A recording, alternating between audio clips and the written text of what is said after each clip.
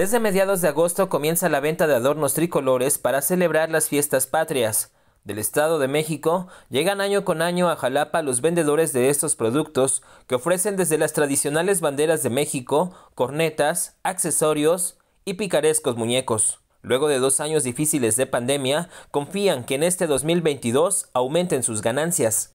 La gente está, bueno, así que empieza a ver nada más y pues realmente no, no, sabemos cómo vaya a estar. Años atrás pues sí he estado muy tranquilo y ahorita pues, esperemos que ya esté un poquito mejor. Sí, ahorita pues curiosidades nada más, así como aretes, anillos y ya conforme vayan pasando los días pues ya se llevan que el adorno ya que en Jalapa se confirmaron las actividades culturales que se realizarán en la Plaza Lerdo durante la celebración del Grito de Independencia, esperan que su economía se recupere y que se conserve la tradición de portar o adornar las casas y negocios con estos productos. Héctor Juans, RTV, más noticias.